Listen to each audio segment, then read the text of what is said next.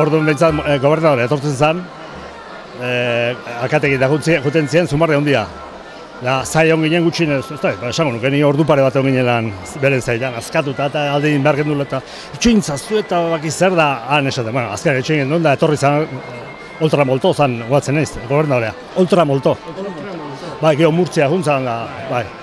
Da, et, behan du etorri zan, noski, da, aurrezkuetara oso behan du bukatu gendun.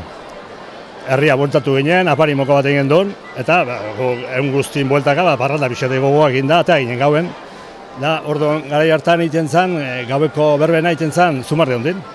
Da, alde hau ginen da, oan digen jotzen nahi zien, gu pizinako pare hortan hau ginen da, denetik joko, joz, noski, dulzain egin da, nahitu ginen da, auskalo, ze kantatu gendu, baina, bueno, han kontzejal bat oso ez daune, behintzat ikusi zigun, da, zabaldu zen, ara denuntziat egin zigula.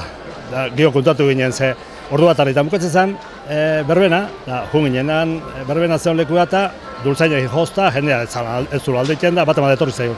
Ezin dizu, eh? Ordu bat ardi die, eta ja moztu barra da, eta ez da oseitzeik. Oain, hildako bat, gainera, hiltzar bat, han txitxea, bai, zaun, eh?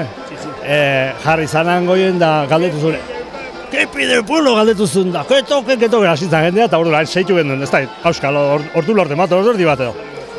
Da, handi abitu ginen herrialdea hor Dominiko hortan etzan bazaldu panizo eta beste gorrezi egin, be metraiet egin dauzi, eta han ematzituen hiru lau, bat txaparrota, ez da Jose Txabonarriz da, batzu guntzien, da urrungo unetan gehiena pasaginen kuarteletik, barrena. E, kuartelean hori galdetu mentzien nik nizahun, eta e, galdetu mentzien e, abestie, eta ke da kantando da, e, e, jeki, jeki, oi horta, aizo, aizo, aizo, goraukadi, goraukadi akatu, eta horrek Horreko, horreko,